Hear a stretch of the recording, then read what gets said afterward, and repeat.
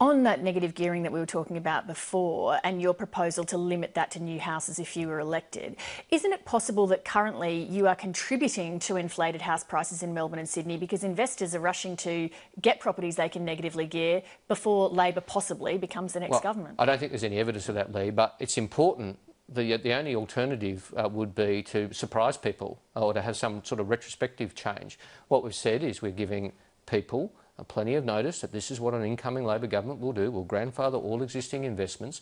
These reforms will last for decades. I mean, you don't change negative gearing every couple of years. We've got to get this reform right. Nobody has laid a finger on our reforms in terms of the technic technicalities of what we're proposing. Uh, these are carefully calibrated and designed reforms which are meant to and will be fit for purpose for any range of market circumstances which will change over the next 30 years.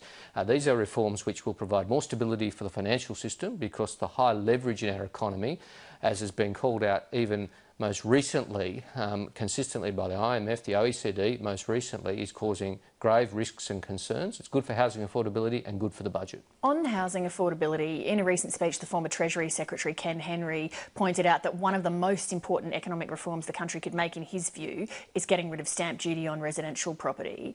What incentives could a federal Labor government offer the states to dump stamp duty? Well, of course, the ACT Labor government's already moved down that road, and uh, it's up to states and territories to consider whether they go down that road as well. It's primarily a matter for them. Uh, Can you course, offer some incentives? Well, of course, then you've got the, com the complexity that's, that the ACT has already done it. So, so you've already got one territory or one jurisdiction moving down that road. Then if you provide further incentives for others, they will say, well, we've already done it. So these are complex areas. I think the Commonwealth and the state does need to be, do need to be working together. So, for Would example, you consider you, giving incentives? Uh, well, for example, Leigh, um, you see Victoria moving on the weekend in a welcome reform. And this is one thing I agree with Scott Morrison. He says, oh, well, the Victorian reforms will be better if matched by federal action. Well, yes, I agree. The trouble is there is none. There is no federal action on housing affordability. Scott Morrison's out there talking again a big game. He has delivered not one jot of a housing affordability strategy. We're out of time, unfortunately. Chris Bowen, thank you very much. Pleasure, Leigh.